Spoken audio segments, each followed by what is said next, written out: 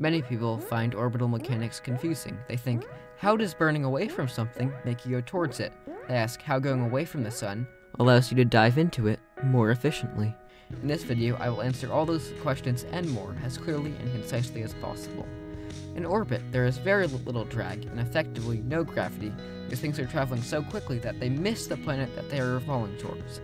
This means that motion and how things travel is vastly different from here on Earth's surface. When a car changes the direction that it is facing, its velocity changes so that it is still moving in the direction that it is facing.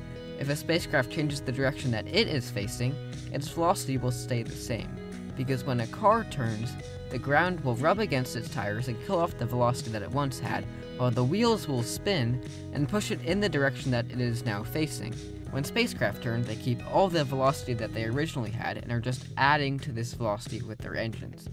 A spacecraft performs a burn, the side of its orbit that is affected most by that burn is the opposite side of its orbit. This is because at any given moment in time, an object is motionless. Any changes that a spacecraft performs are actually changing where it will be, not where it is. The opposite side of the spacecraft's orbit is the farthest away from where the spacecraft is, so its orbit will have the most time to change before it reaches that point.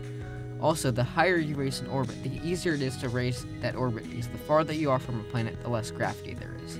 In the recent Mars 2020 launch, the Perseverance rover spent the vast majority of its escape burn trying to raise its orbit out of Earth's sphere of influence, and only the final dregs of fuel were needed to shove the rover out to Mars.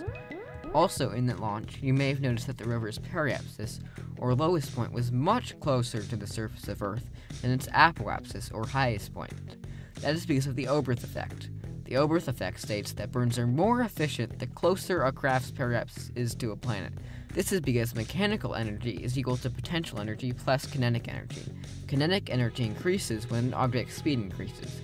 A periapsis is the part of an orbit where an object is going faster because as you go up towards your apoapsis, you exchange kinetic energy for potential energy. As you come back down, gravity accelerates you, so you lose gravitational potential energy and gain kinetic energy. Once the craft is at periapsis, it begins to burn. So now the fuel has more mechanical energy, so it is capable of doing more work.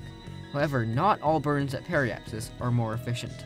A lot of the time, burning at apoapsis is more efficient despite the losses of mechanical energy. This is because an apoapsis is the slowest part of an orbit, so you need less fuel to drastically change your velocity. For example, if you wanted to perform a plane change burn, you would perform it at apoapsis, because at periapsis you would be going, say, three times faster. This is an arbitrarily determined number and is no way based on reality, so it would take approximately three times the work to have the same effect. Of course, all that is helpful if you want to spend less fuel, which is something that most spacecraft engineers want their spacecraft to do.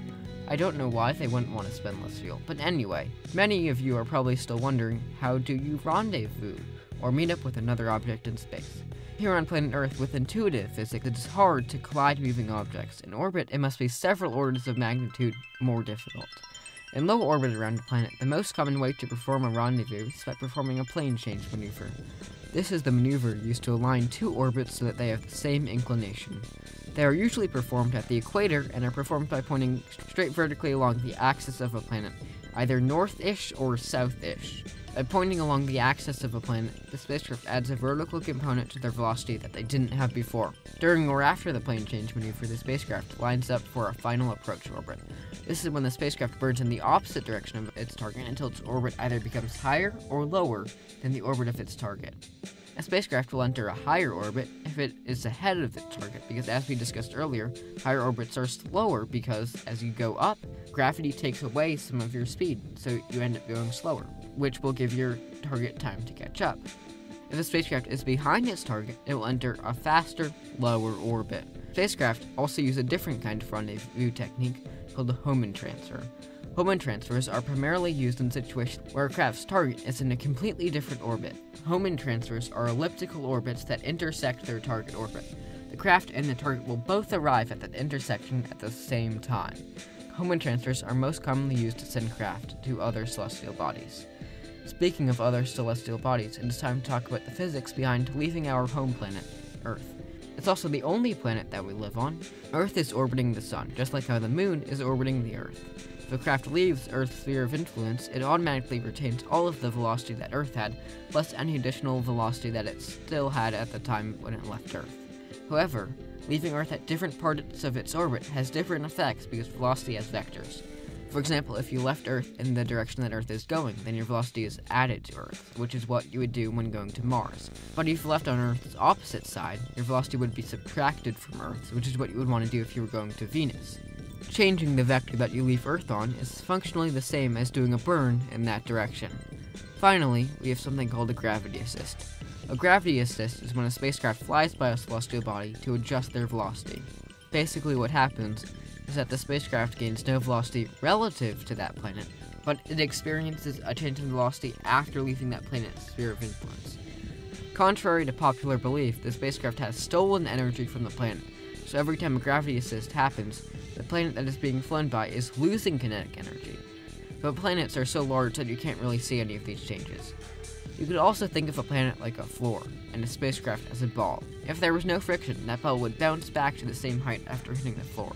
However, if the floor was moving, then the ball would either lose or gain energy depending on the direction that the floor was moving. Have a nice day and don't die!